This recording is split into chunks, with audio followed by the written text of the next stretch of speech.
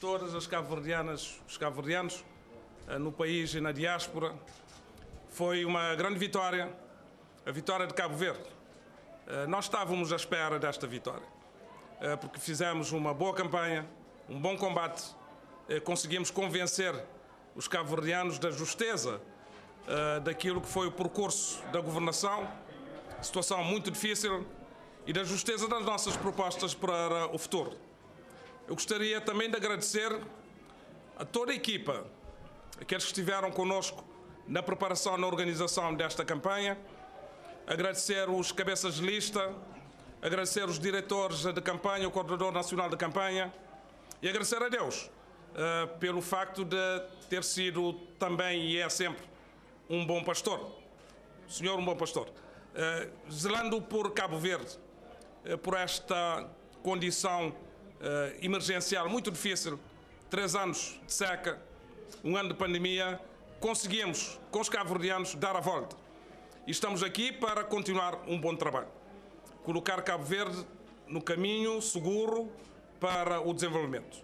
Uh, colocar Cabo Verde mais resiliente, uh, porque saímos todos mais fortes destas eleições, saímos todos mais fortes desta experiência muito difícil que ainda continua a situação da, da Covid-19, saímos todos mais fortes na convicção de futuro. Em 2016 eu tinha dito que ninguém perdeu as eleições. Desta vez houve perdedores. Houve perdedores relativamente àqueles eh, que fizeram da política a forma de ataque, não ao governo nem ao MPD, mas ataque ao país.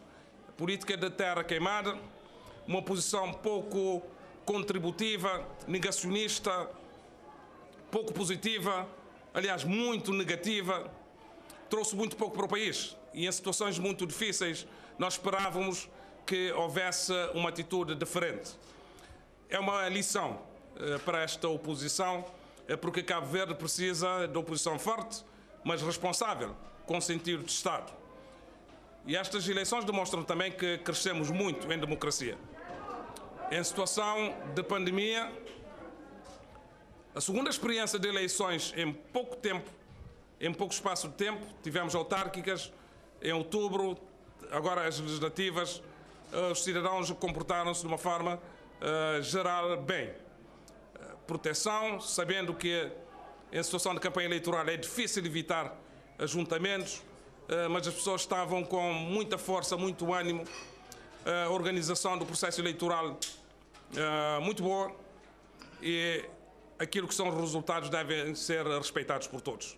E estamos aqui para continuar a trabalhar ao serviço do bem comum, ao serviço de Cabo Verde e a trabalhar para que possamos uh, colocar Cabo Verde na senda do desenvolvimento próximo. E algumas prioridades.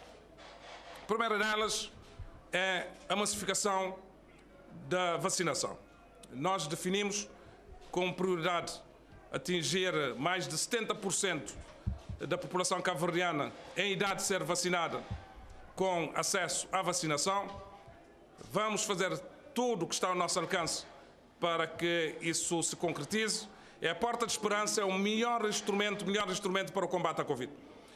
Defesa da nossa saúde, defesa da nossa economia, defesa do emprego, do rendimento e da retoma à vida normal. Essa é a grande prioridade e é uma prioridade imediata. Segunda grande prioridade, eliminar a pobreza extrema em Cabo Verde. Eu não tenho dúvidas de que iremos eh, conseguir essa meta, com programas muito assertivos, não só de retoma do crescimento económico, mas eh, de proteção social e apoio social. Vamos eh, aumentar de uma forma significativa o número de famílias com acesso ao rendimento social de inclusão. Estou a falar de famílias cujo rendimento é inferior ou igual a 2 dólares por dia. Eh, iremos abarcar, eu estou a falar de cerca de 151 mil pessoas. E o nosso programa é no sentido de atingirmos cerca de 39 mil agregados familiares. Iremos ultrapassar até um número de pessoas em situação de pobreza extrema para abarcar também pessoas pobres com crianças a cargo de idade igual ou inferior a 15 anos. Eh, vamos aumentar de uma forma substancial a pensão social de idosos, Temos 26 mil neste momento, a nossa meta é chegar a 2026 com 40 mil idosos beneficiando da pensão social uh, de idosos do regime não contributivo. Estas duas medidas já são suficientemente densas para baixar de uma forma significativa o nível da pobreza extrema. Mas uh, iremos ajustar outras medidas que têm a ver com acesso à saúde, a isenção da taxa moderadora de saúde, alargando para todas as famílias a situação de pobreza extrema. A gratuidade do ensino irá continuar. Uh, o programa de reabilitação de casas vai ser reforçado. A nossa meta é atingir 25 mil famílias a nível nacional, com investimento durante estes próximos cinco anos à volta de 11,5 milhões de contos. Vai ser muito exigente, eh, mas eh, é para podermos depois debelar este problema da pobreza extrema, estando nós eh, convencidos de que o conseguiremos fazer. Em termos de economia, temos todas as condições para a retoma, porque todos os países do mundo estão a lutar no mesmo sentido. Vencer a Covid, relançar as economias, fazer crescer novamente, gerar emprego e criar condições de melhoria eh, de vida das nossas populações. Eh, eu termino com uma mensagem de muita confiança.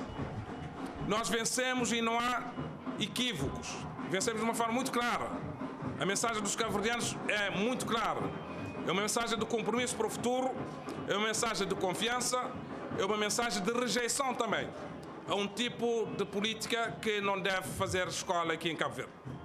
Populismo exagerado, irresponsabilidade, falta de sentido de Estado. Os cabo-verdianos deram também um cartão vermelho a este tipo de oposição.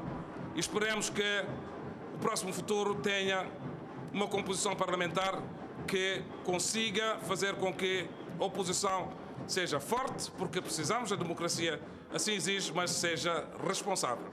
Muito. Obrigado.